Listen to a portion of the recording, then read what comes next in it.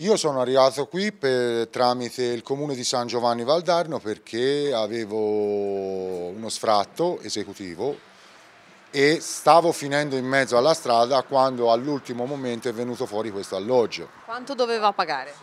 All'inizio quando sono entrato qui pagavo 330 euro mensili e adesso siamo arrivati a pagarne 705,46 con un alloggio che pieno di infiltrazioni, con l'arredamento completamente da buttare, manutenzione esterna inesistente, crolla tutto, a me mi devono dire da dove tirano fuori cifre di 705 euro mensili.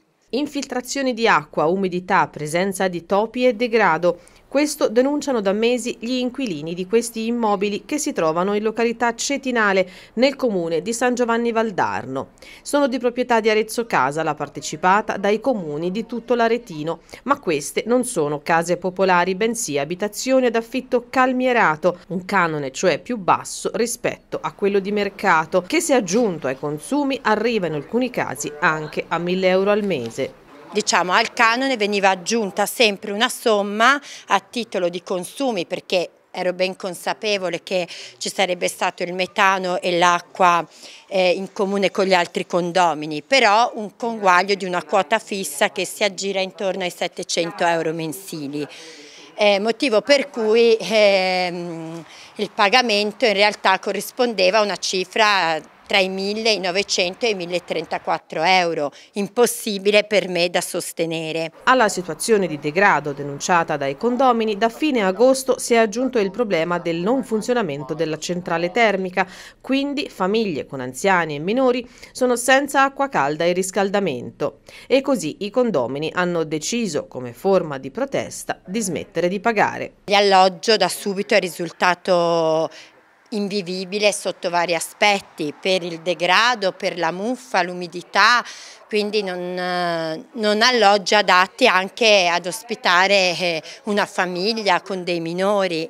Siamo stati più volte in maniera individuale a rappresentare la situazione, però siamo andati avanti in questo silenzio, in questa sorta di omertà e chiaramente non avendo alternative siamo rimasti qui e l'unica arma è stata quella di smettere di pagare, quindi ora ci vengono contestate queste morosità che di fatto esistono, ma esistono perché non siamo mai stati messi in condizioni di pagare e di vivere in maniera dignitosa. Una situazione ben nota anche all'amministrazione comunale che ha incontrato alcuni degli inquilini. Stiamo seguendo la questione da tempo, ci conferma il sindaco Valentina Vadi. Già una prima lettera era stata inviata ad Arezzo Casa il 27 settembre. Inoltre lo scorso 24 ottobre abbiamo avviato un procedimento nei riguardi di Arezzo Casa per far sì che possa ottemperare alla manutenzione straordinaria di sua competenza. Questo dopo il sopralluogo ASL effettuato in data 11 ottobre in seguito alla segnalazione di alcuni condomini. Voi come Movimento 5 Stelle porterete la questione in Consiglio Comunale? Sì, noi portiamo la questione in Consiglio Comunale tramite un'interrogazione, intanto partiamo da quella e poi arrivare anche ad Arezzo Casa che si deve prendere la responsabilità del degrado in cui vivono perché sinceramente eh, avere de degli affitti che sfiorano dei valori che potrebbero essere tranquillamente quelli del centro storico di una grande città, siamo in periferia fra due comuni in una zona dimenticata da tutti, è assurdo anche le spese che loro stanno sostenendo.